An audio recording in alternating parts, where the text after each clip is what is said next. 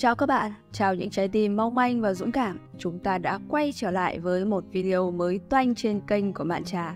Bạn đã sẵn sàng chưa? Ngày hôm nay mình sẽ tiết lộ cho bạn một số bí quyết để thật sự phát triển sức hấp dẫn của mình. Video này có thể áp dụng cho những bạn đang khổ sở vì chia tay và muốn lấy lại người yêu cũ, hoặc cho những bạn đang mơ mộng về một ai đó mà chưa dám tiếp cận, hoặc cho những bạn đang có thiện cảm với một ai đó nhưng chưa có mối quan hệ thân tình Nói chung, video này sẽ cho bạn những gợi ý cơ bản để biến mình thành một người lôi cuốn và quyến rũ hơn. Vậy thì còn chần chờ gì nữa, hãy cùng bắt đầu ngay. Các bạn nha!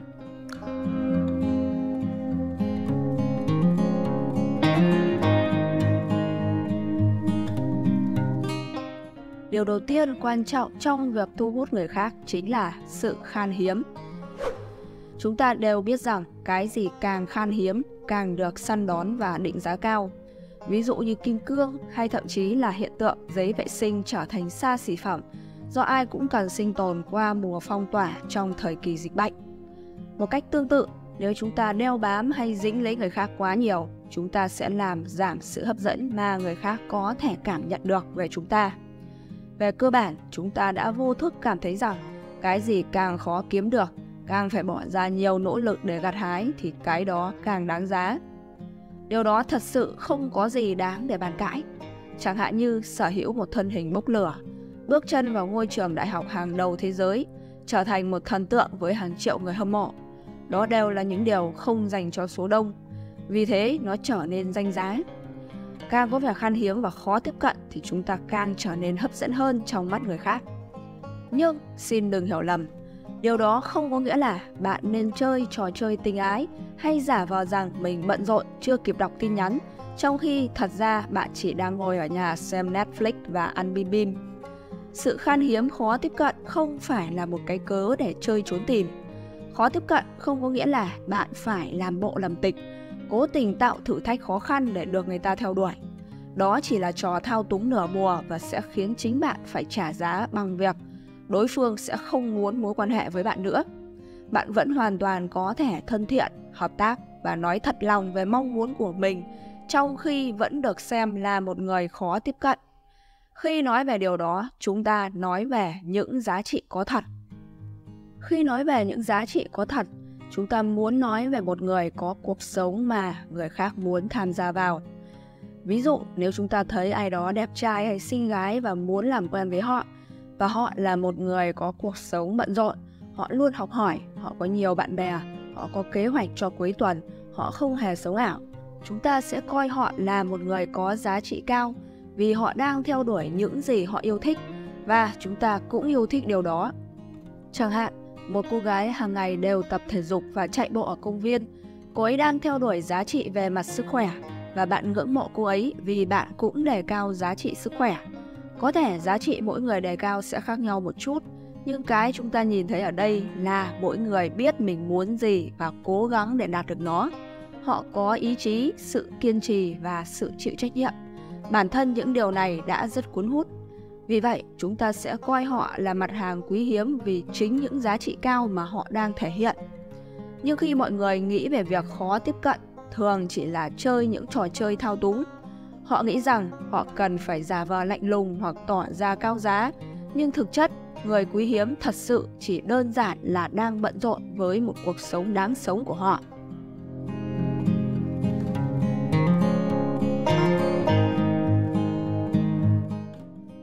Điều thứ hai, hãy từ bỏ tư duy thần tượng hóa người khác. Anh ấy hay cô ấy rất tuyệt vời, tôi không xứng tầm với người ấy đây là một câu nói mà chúng ta thường tự nói với bản thân mình khi chúng ta thấy ai đó quá hấp dẫn và quá xa vời. Nhưng đây là một tư duy rất không lành mạnh, bởi vì nó dựa trên một giả định sai lầm rằng có một cái gì đó gọi là tầm với và rằng chúng ta phải đáp ứng một số tiêu chuẩn nào đó để xứng đáng với người khác. Nhưng sự thật là không có cái gì gọi là tầm với và mỗi chúng ta đều có giá trị riêng của mình Vấn đề là chúng ta thường không nhận ra được giá trị của mình và có ít tự tin hơn những gì mà chúng ta nên có. Chúng ta thường so sánh mình với người khác và chỉ nhìn vào những gì họ có chúng ta không có, chứ không nhìn vào những gì chúng ta có mà họ không có. Chúng ta thường xem thường bản thân và coi giá trị của chúng ta thấp kém đi. Vì vậy, nó rất buồn cười khi nghĩ về việc chúng ta tự xem thường bản thân và coi mọi người khác như những điều tuyệt vời, vượt ra khỏi tầm với của chúng ta, dù rằng chính họ cũng tự nhận thức rằng họ không hoàn hảo và có những cuộc chiến nội tâm của riêng họ. Ví dụ, bạn đi đến một bữa tiệc và nhìn thấy một người đàn ông đang đứng một mình ở góc phòng. Bạn thấy anh ấy rất đẹp trai và lịch lãm. Bạn muốn tiếp cận và nói chuyện với anh ấy, nhưng bạn tự nói với bản thân mình rằng bạn không xứng tầm với anh ấy. Bạn nghĩ rằng anh ấy là một người thành đạt, thông minh và có nhiều người quan tâm. Bạn nghĩ rằng anh ấy sẽ không quan tâm đến bạn vì bạn chỉ là một người bình thường, không có gì nổi bật. Bạn nghĩ rằng anh ấy sẽ từ chối bạn hoặc làm bạn xấu hổ nếu bạn dám bước tới. Bạn nghĩ rằng anh ấy vượt ra khỏi tầm với của bạn. Nhưng bạn không biết rằng anh ấy cũng đang cảm thấy như vậy. Anh ấy cũng nhìn thấy bạn và thấy bạn rất xinh đẹp và duyên dáng. Anh ấy nghĩ rằng bạn là một người vui vẻ, hòa đồng và có nhiều người yêu mến. Anh ấy cũng muốn tiếp cận và nói chuyện với bạn. Nhưng anh ấy tự nói với bản thân mình rằng anh ấy không xứng tầm với bạn vì anh ấy không giỏi nói chuyện với con gái anh ấy cũng có chút nghi ngại rằng bạn sẽ từ chối anh ấy hoặc làm anh ấy tổn thương nếu như anh ấy dám bước tới. Và vì vậy, hai người bạn đều đứng im lặng và không dám làm gì. Bạn đều bỏ lỡ cơ hội để kết nối với người mà bạn quan tâm. Bạn đều tự xem thường bản thân và coi người khác như những điều tuyệt vời vượt ra khỏi tầm với của bạn. Dù rằng chính họ cũng nghi hoặc về chính bản thân mình. Do đó, điều quan trọng là chúng ta phải nhận ra rằng chúng ta không phải là người duy nhất cảm thấy nghi ngờ về giá trị của bản thân mình và rằng chúng ta không phải là người duy nhất có giá trị. Chúng ta phải học cách yêu quý bản thân và tin tưởng vào khả năng của mình. Chúng ta phải học cách nhìn vào những điểm mạnh và điểm yếu của mình một cách khách quan và công bằng. Chúng ta phải học cách đánh giá giá trị của mình dựa trên những gì chúng ta làm được và những gì chúng ta nỗ lực để làm được chứ không phải dựa trên những gì người khác nghĩ về chúng ta. Chúng ta phải học cách tin tưởng vào bản thân mình từng ngày và từng ngày một. Hãy nhớ rằng mọi người đều có xu hướng tự giảm giá trị của bản thân và ca ngợi người khác. Vì vậy, một cách chớ trêu, để trở nên hấp dẫn, bạn phải nhận ra điều này và tận dụng nó theo một cách không lợi dụng người khác trong khi vẫn thẳng thắn và trung thực.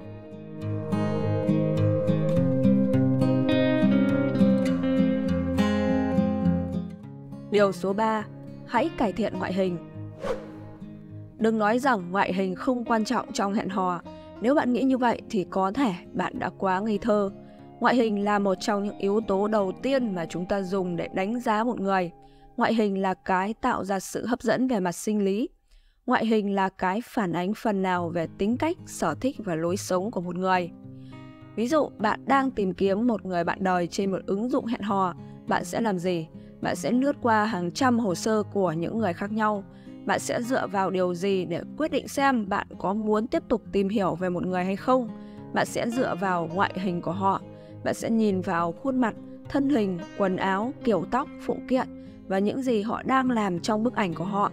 Bạn sẽ cố gắng đoán xem họ có phải là người mà bạn thích hay không, có phù hợp với bạn hay không. Bạn sẽ chọn những người mà bạn thấy đẹp trai hay xinh gái, có phong cách thú vị hay phù hợp với bạn bạn sẽ bỏ qua những người mà bạn thấy xấu xí hay nhạt nhẽo, không có gì nổi bật hay đặc biệt. Bạn sẽ không quan tâm đến những thông tin khác về họ như tên tuổi, nghề nghiệp, sở thích, giá trị hay mục tiêu trong cuộc sống nếu như họ không vượt qua được bài kiểm tra ngoại hình mà bạn dành cho họ. Đó là lý do tại sao ngoại hình quan trọng trong hẹn hò. Nó là cái giúp bạn thu hút được sự chú ý của người khác. Nó là cái giúp bạn tạo được ấn tượng đầu tiên nó là cái giúp bạn khơi gọi được ham muốn hay cảm xúc lãng mạn từ người khác. Dĩ nhiên, ngoại hình không nên được thần thánh hóa đến mức quá đà.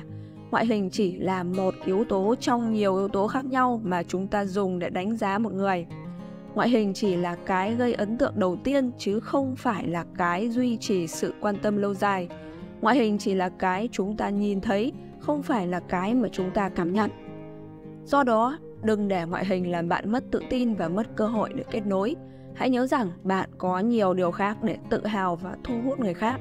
Bạn có tính cách, có sở thích, có tài năng, có giá trị, có ước mơ, có những điều mà ngoại hình không bao giờ có thể thay thế được. Tuy nhiên, cũng đừng vì thế mà đánh giá thấp ngoại hình.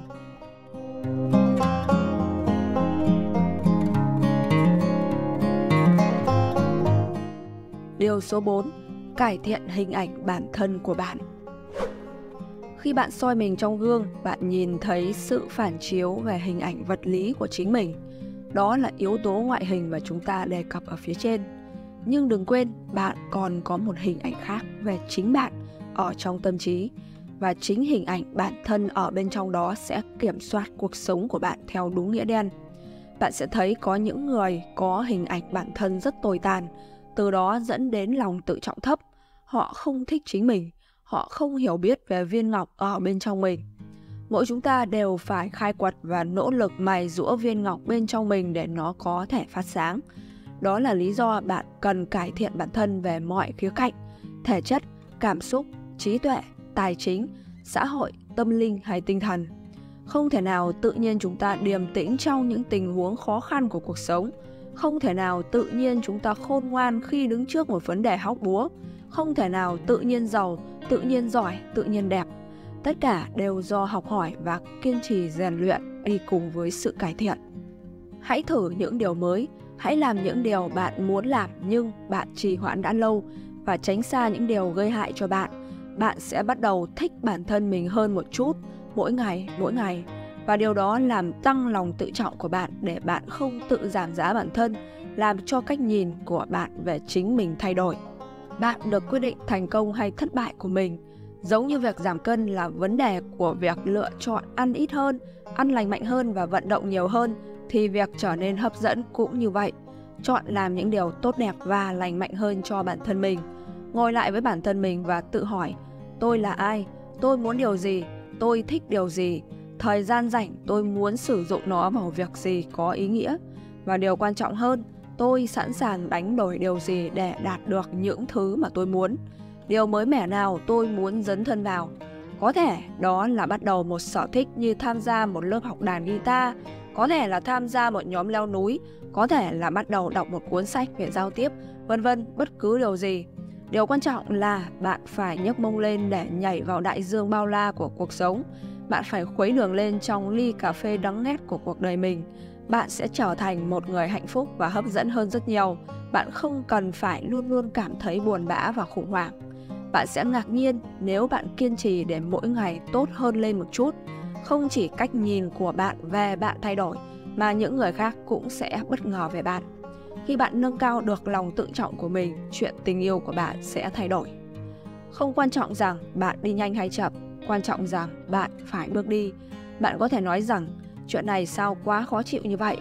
Rõ ràng rồi, nó nhất định là khó chịu. Thế nhưng, quay trở lại, có cái gì quý hiếm và danh giá ở trên đời này mà lại dễ dàng có được.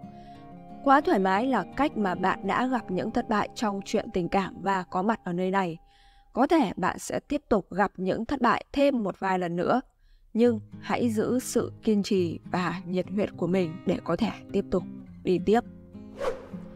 Và đó đã là toàn bộ thông điệp của ngày hôm nay. Nếu như các bạn cảm thấy thích nội dung lần này thì đừng ngần ngại bình luận xuống phía dưới cho mình được biết.